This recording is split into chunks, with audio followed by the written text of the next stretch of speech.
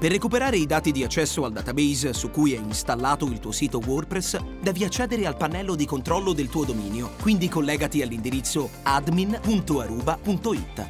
Nei rispettivi campi inserisci il tuo username chiocciolaruba.it, la relativa password, il codice di controllo mostrato nell'immagine e accedi. Se al tuo username è associato più di un dominio, devi indicare il nome del dominio che vuoi gestire. Diversamente, l'accesso avviene direttamente al pannello di controllo. Dal menu di sinistra seleziona la voce con il nome del tuo servizio. Clicca File Manager.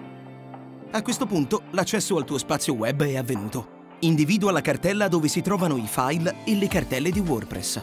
In questo esempio, il sito WordPress è stato installato nella root del dominio. Seleziona il file wp-config.php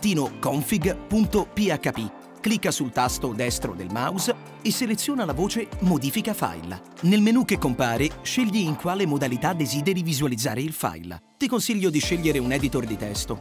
Utilizzando un editor di testo, una volta aperto il file, dalla riga indicata dbuser e dbpassword puoi recuperare username e relativa password di accesso al database su cui hai installato il tuo sito WordPress. Una volta che i tuoi dati sono stati recuperati, collegati alla pagina mysql.aruba.it.